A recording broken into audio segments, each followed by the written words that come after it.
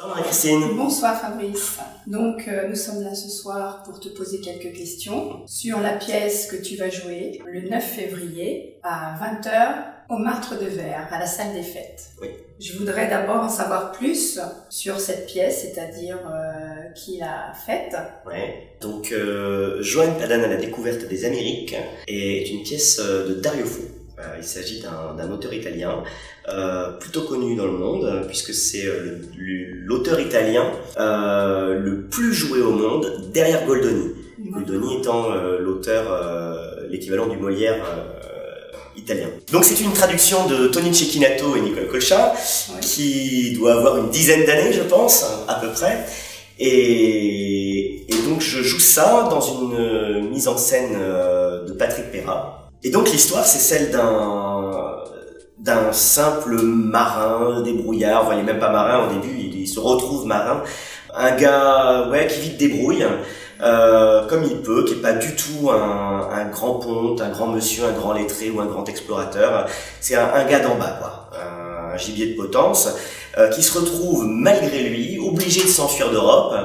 Et suite à une, une tempête, euh, il va se retrouver dans les Amériques, recueilli par des indios. Et là, il va devoir essayer de survivre parce que euh, ben, c'est pas les mêmes cultures, c'est pas les mêmes façons de faire. Et il manquait de se faire rôtir en, Europe par l'acquisition. Là, il faut qu'il évite de se faire rôtir pour éviter de se faire manger. Et de fil en aiguille, il va se retrouver à, vouloir rentrer chez lui. Mais ça va être plus difficile que ce qu'il pense, pour plein de raisons. Qu'est-ce qui t'a attiré dans le rôle de Joanne Padan Alors c'est une histoire euh, qui remonte à, à assez loin, euh, qui d'abord euh, vient de mon affection pour, pour Dario Fo, que j'ai découvert quand j'étais au Théâtre du Jour à, à Agen. Quelques années après, j'ai lu cette pièce. Voilà, que je savais être une, une pièce à, à un seul acteur. Je cherchais quelque chose à jouer dans une région dans laquelle je, je débarquais. J'ai lu et bah, j'ai tout de suite senti que, que c'était un- quelque chose que j'avais envie, euh, que j'avais envie de faire par rapport à, à la thématique. Euh, je trouve que euh, on est en plein dedans sur la, la rencontre, euh, le, le- qu'est-ce que c'est que de rencontrer l'autre? Voilà, Bah, c'est cette question-là qui, euh, comment on le rencontre? Qu'est-ce que c'est que quand quelqu'un n'est pas comme nous et qu'on se retrouve obligé euh, de vivre avec? Eh bien, comment euh, comment fait-on? La préparation pour te plonger dans ce rôle, euh, combien de temps ça t'a pris? Le, le temps que j'ai passé à rêver sur ce texte et à faire des liens avec d'autres choses est très long. C'est-à-dire qu'il y a tout un, un, un moment où euh, on y pense, on y rêve, euh, on, on fait des liens avec d'autres œuvres. Et une fois rentré dans le vif du sujet, bah, il y a tout le travail qui consiste à déjà apprendre le texte, tout en y réfléchissant de façon beaucoup plus pointue. Ça, c'est quelque chose qui m'a pris à peu près deux mois, et en deux passages, hein, deux fois un mois. Et puis ensuite, il y a le travail de répétition. Alors là, on a en plus des échanges avec le metteur en scène, euh, où il apporte aussi ses, ses, ses propres idées, sa propre vision des choses, ce qui m'oblige à moi à me remettre en question. euh, et ça, ça a pris aussi euh, un bon mois. Donc c'est énormément de travail.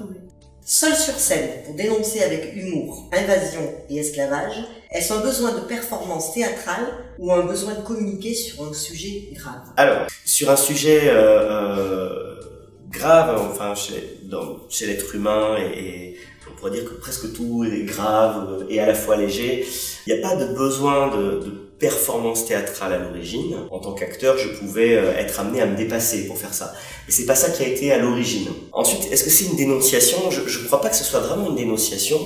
Euh, c'est plutôt euh, une mise en question de certaines choses. Et, et dans cette pièce, on n'est pas uniquement face à, à des, des gentils euh, occidentaux euh, qui iraient massacrer, euh, non des méchants occidentaux qui iraient massacrer des gentils indiens.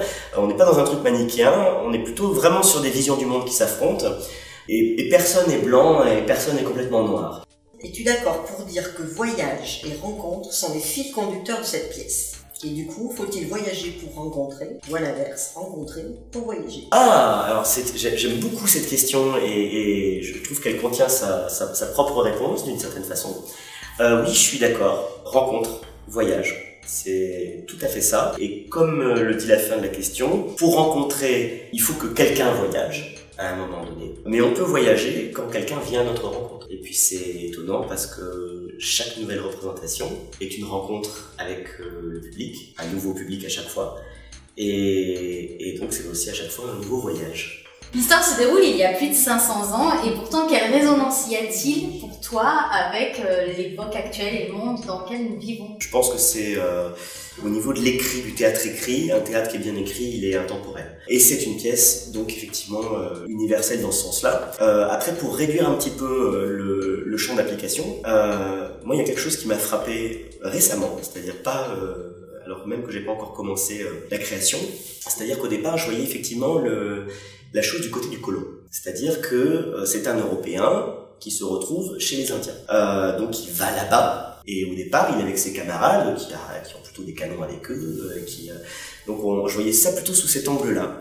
Et en fait, je me suis rendu compte très très récemment que cette histoire, c'est aussi l'histoire d'un gars qui, oublions le pays d'où il vient, que c'est l'Europe, il fuit son pays natal, celui qu'il aime, qu'il chérit, et il le dit plusieurs fois dans la pièce, dans lequel il veut retourner parce qu'il est menacé de mort mais il aura toujours et jusqu'à la dernière minute de la pièce la nostalgie de son pays. Et je trouve que ça, c'est, et il aurait eu envie de rentrer, mais il peut pas.